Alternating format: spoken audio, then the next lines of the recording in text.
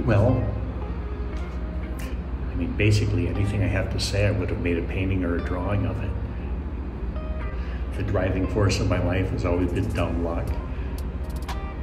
It's like, well, you know, those Plinko games at the, the fair where a ping pong ball bounces. Mine has always bounced towards art. I've always regarded my life as improbable, but benevolent. I always thought of Kalamazoo as the, if you're young and making art, it's probably one of the best places I've ever encountered.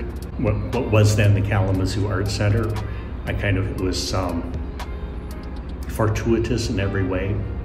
And I briefly, well, I briefly got a job teaching here and feel like I owe an apology to everyone I ever taught because it's really not my thing to teach. I mean, I regard art for myself is self-evident in regard and think it should be for everyone else. But I did in fact learn a lot, but then I soon realized that it was a better place to be a student than a teacher.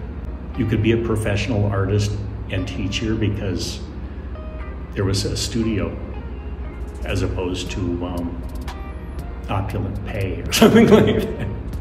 So it was, um, you know, I kind of stumbled into the, circum the perfect circumstance to continue doing what I was already doing.